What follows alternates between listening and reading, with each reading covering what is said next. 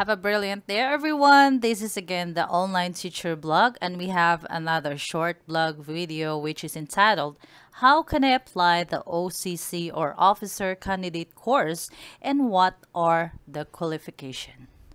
Alright, so before we continue, please click the subscribe button, like, and share to our channel so that you can be updated. So now let's discuss the topic of today, which is how can I apply the OCC or Officer Candidate course and what are the qualification. So officer candidates that will undergo Officer Candidate course or OCC must possess the following qualification or following qualifications. First, you need to be a holder of a baccalaureate degree, whether it is four years or more than four years. At least you are a graduate of a baccalaureate degree, such as Bachelor of Science in Criminology, Bachelor of Science in Education, Bachelor of Science in Agriculture, or any other course. Now let's proceed. You need to be a natural born Filipino. Then your age must be 21 to 29 years of age upon admission and no age waiver.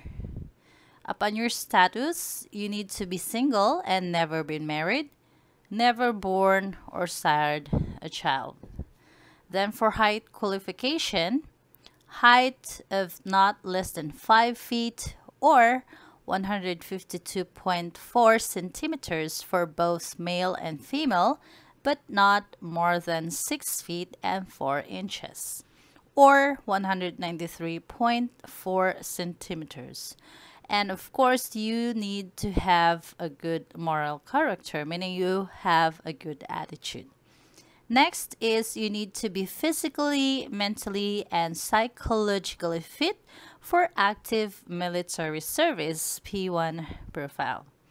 Next is you need to be you need to have a RUS score of 71% or higher for your AFPSAT, which is the Armed Forces of the Philippines Service Aptitude Test. So, kailangan you need to reach the RUS score of 71 or higher. Must have passed the Army qualifying exam or what we know as AQE and special written exam which is the SWE given by the Philippine Army. Must pass the full physical medical exam and physical fitness test conducted in the Philippine Army through BAOSC. Alright, so I hope you've learned a lot from our topic of the day. So what are you waiting now?